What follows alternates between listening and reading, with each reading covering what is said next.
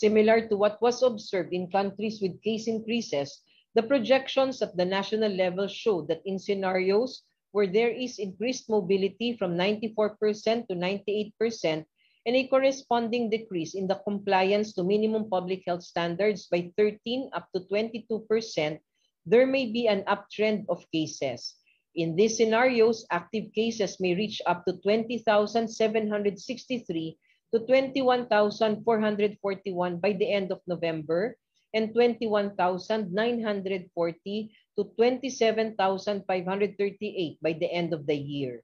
The estimated active cases in these scenarios were two to almost three times higher by December 31 when compared to the scenarios where the compliance to minimum public health standards were maintained and active cases only ranged from 9,925 to 10,239